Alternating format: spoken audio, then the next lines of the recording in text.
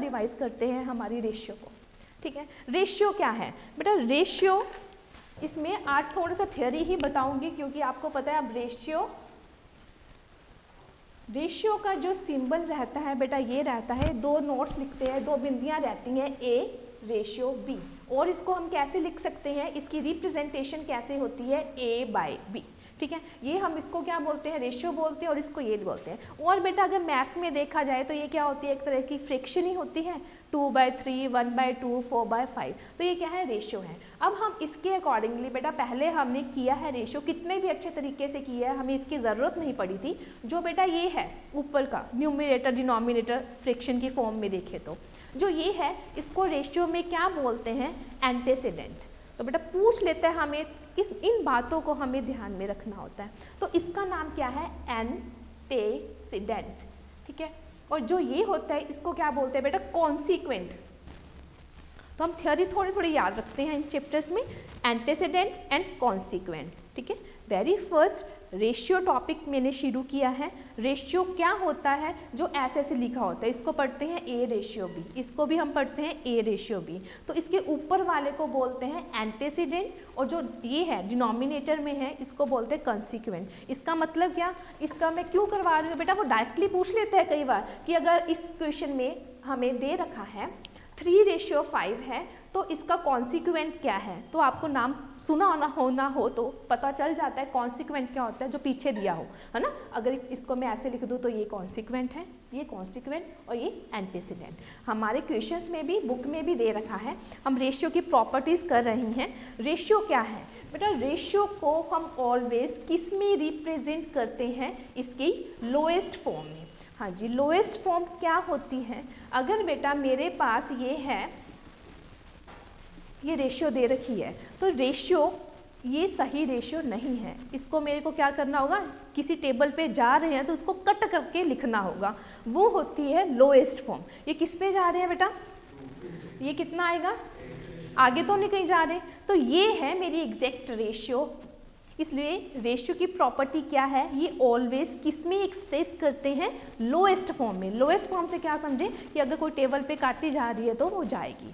ठीक है? इसलिए जब भी हम कोई इसका क्वेश्चन सॉल्व करते हैं रेशियो का, आपको याद हो पहले, हम लेते थे let the common ratio be x कोई भी, पहले ये याद करवाते थे हमें, जब भी सेवन सिक्स में रेशियो आ जाती है let the common ratio be x वो क्यों लेते थे? बेटा ये देखो, हमें गिवन में तो रेशियो ये दे दी। लेकिन एग्जैक्टली जा कहाँ रही है? इसकी 16 और 18 पे जा रही है। इसका कॉमन फैक्टर क्या हुआ? टू अगर मैं इसको टू से मल्टीप्लाई करती हूँ तो ये आ जाएगा। अगर मैं इसको थ्री से मल्टीप्लाई करती हूँ तो क्या आएगा? लेकिन ये रेशियो एग्जैक्ट रेशियो नहीं है। हमें जो आंसर दिया होता है वो कैसे दिया होता है? लोएस्ट फॉर्म में। तो इसकी लोएस्ट फॉर्म क्या आएगी बेटा? क्या आएगी इसकी? थ्री के टेबल पे जाना है ना तो मतलब कि हमें एट रेशियो नाइन ही मिलेगा चाहे यहाँ पे मल्टीपल ऑफ़ फोर हो, चाहे मल्टीपल ऑफ़ फाइव हो, चाहे मल्टीपल ऑफ़ सिक्स हो। तो रेशियो हमेशा किसमें एक्सप्रेस होती है? लोएस्ट फॉर्म में। तो हमें नहीं पता वो पहले किससे मल्टीप्लाई होकर आया हुआ है। टू से मल्टीप्लाई होकर आया है थ्री से मल्टीप्लाई होकर आया है फोर से मल्टीप्लाई होकर आया है फाइव से। अगर आपने टू से मल्टीप्लाई किया था इसको सिक्सटीन रेशियो एटीन का भी यही रेशियो बनता था थ्री वाले का भी यही बनता है फोर वाले का भी यही बनता है। तो इसलिए हमें वो let the common ratio be x वो एक्स को फाइंड आउट करते होते हैं हम सभी इक्वेशंस में। रेशियो की ये कहानी रहती है। ये एक्स की प्रॉपर्टी के अकॉर्डिंग समझ में आया कि वो क्यों रहता है? Let the common ratio be x वो हम इस कॉमन फैक्टर को फाइंड आउट करते हैं। ये टू है थ्री है फोर है फाइव है या क्या है? समझ में आया? तो ये हमारी फ़र्स्ट प्रॉपर्टी थी जो हम कहते हैं ये ऑलवेज एक्सप्रेस करते हैं इसको लोएस्ट फॉर्म में। तो आप समझते हो, अगर हमें क्वेश्चन दे दिया कि किसी रेशियो का कॉन्सिक्वेंट क्या है कॉन्सिक्वेंट हमें दे दिया कि क्या है 15 है।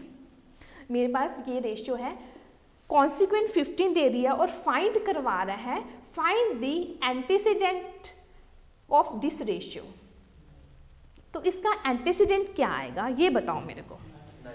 बेटा कॉन्सिक्वेंट पहले मैंने बताया। कॉन्सिक्वेंट क्या होता है? ये वाला होता है। अगर कोई नई रेशियो बनाई, उसका कॉन्सिक्वेंट कितना दे दिया मेरे को? 15 दे दिया। ठीक है? तो 15 कैसे आया बेटा यहाँ से? मल्टीप्लाई किससे किया? थ्री से किया। तो अगर एक तरफ़ मल्टीप्लाई तो दोनों तरफ़ ही होना है। तो इसको भी फिर मैं किससे मल्टीप्लाई करूँगी? थ्री से। तो जो इस रेशियो का मेरा एंटीसीडेंट आएगा, वो क्या आएगा? नाइन आएगा। समझे बेटा? इसमें दोनों बातें क्लियर हैं लोएस्ट फॉर्म में होता है और इसको ऐसे हम कट करेंगे। रेशियो तो वही थ्री रेशियो फाइव ही रहनी है।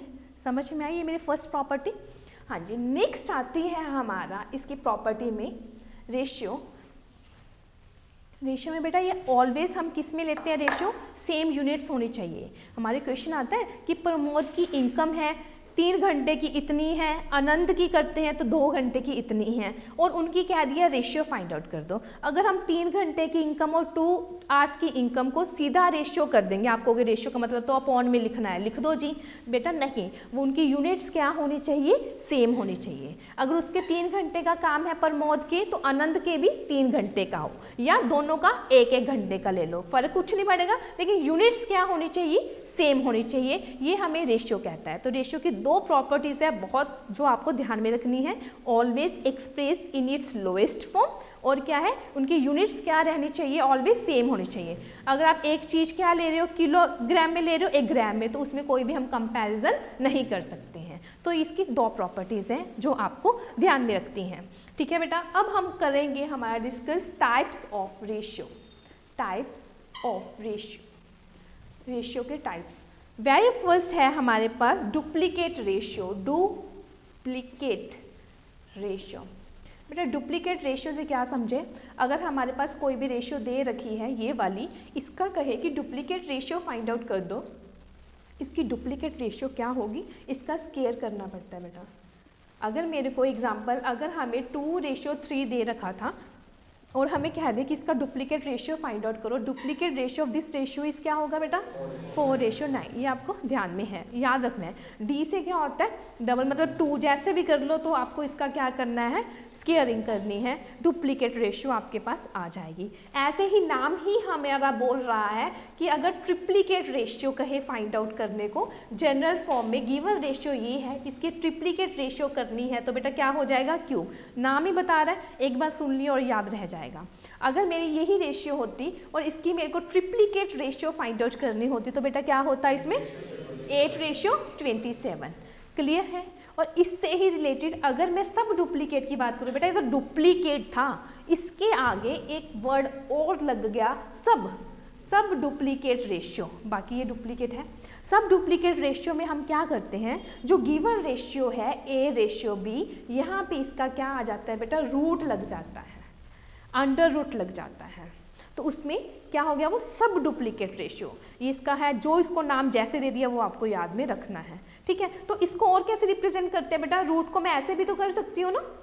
एक ही बात होती है ना, ये वाले इंडिसिस में करेंगे। ये मैंने वहाँ वैसे इसकी एक बार एंट्री कर दी कि अगर रूट है तो इसको हम कैसे लिख सकते हैं बेटा? इसका फॉर्म वन बाई टू भी कर सकते हैं। क्योंकि यहाँ पे तो स्केयर था, लेकिन यहाँ पे क्या है? वन बाई टू है in case of sub duplicate ठीक है? रूट भी बोल सकते हो और ये वाली फॉर्म भी लिख सकते हो। बात क्लियर है? सब ट्रिप्लीकेट लिखने की ज़रूरत ही नहीं है। सब ट्रिप्लीकेट में क्या हो जाएगा बेटा? उसका क्यूब रूट हो जाएगा।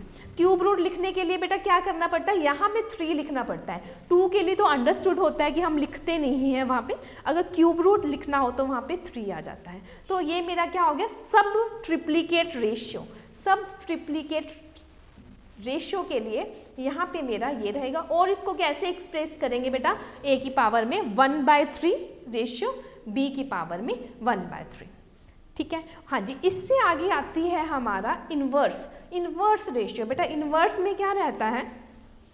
अगर ए रेशियो बी है, इसका इन्वर्स क्या हो जाएगा? बी रेशियो बहुत छोटी छोटी बातें हैं और इसका क्वेश्चन एक कंबाइंड होकर आ जाता है, इसलिए ये प्रॉपर्टीज़ हम याद रखते हैं। कंपाउंडेड रेशियो कंपाउंडेड रेशियो में ये सारी प्रॉपर्टीज़ कई बार यूज़ करवा लेता है। तो इन्वर्स रेशियो भी आपको क्लियर है बेटा? लिखने की ज़रूरत नहीं है।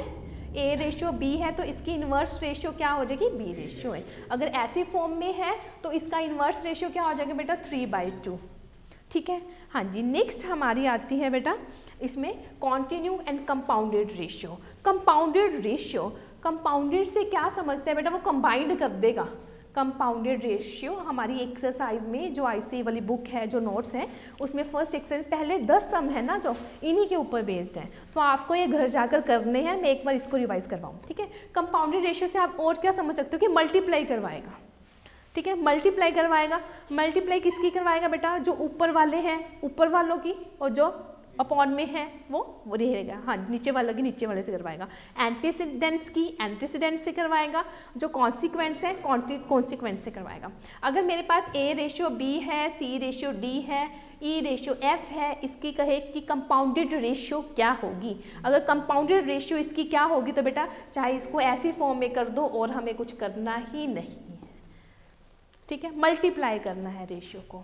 और इसमें से क्वेश्चन क्या पूछ लेता है बेटा? जो फ़र्स्ट रेशियो है कि कंपाउंडेड रेशियो फाइंड आउट कर दो duplicate ratio of this one triplicate ratio of this one inverse ratio of this one कहेगा कंपाउंडेड रेशियो फाइंड आउट कर दो। Duplicate ratio of A ratio B triplicate ratio of C ratio D and inverse ratio of this one तो हम क्या करेंगे बेटा? आपको rules याद है प्रॉपर्टीज़ याद है, उसको फाइंड आउट करोगे, फिर मल्टीप्लाई कर दोगे। अगर कुछ भी नहीं दे रखा तो डायरेक्टली हो गया, लेकिन इसका डुप्लीकेट कह रहा है तो ये हो जाएगा। इसका ट्रिप्लीकेट कह रहा है तो ये हो जाएगा। इसका इन्वर्स कह रहा है तो ये हो जाएगा। कुछ भी कह दे तो हम कर सकते हैं। आपके पहले दस सम है जो एक्सरसाइज ए की है, इन्हीं के ऊपर बेस्ड है। ठीक है? आगे आता है बेटा कॉन्टिन्यू रेशियो कॉन्टिन्यू रेशियो में से सम मिल जाता है हमें कि कॉन्टिन्यू रेशियो क्या होती है?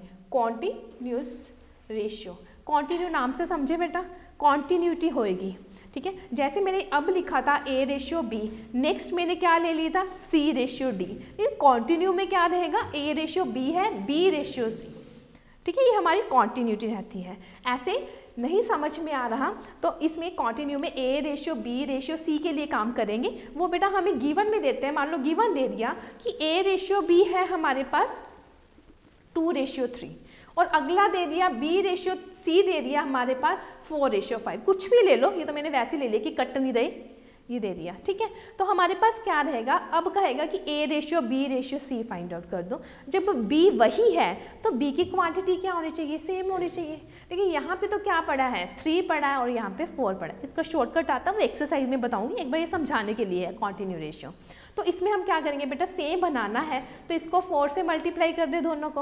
और इसको किसके साथ मल्टीप्लाई करना होगा? थ्री से। या इसको ऐसे लिख लो। अगर ये आपको मुश्किल लग रहा है। टू रेशियो थ्री है, ये फोर रेशियो फाइव है। जो बी बी वाला पार्ट है। इसका बी की ऑप्शन क्या है? फोर है तो इसको फोर से मल्टीप्लाई कर दो। इसको किस से कर दो? थ्री से कर दो। तो आपका कितना आएगा?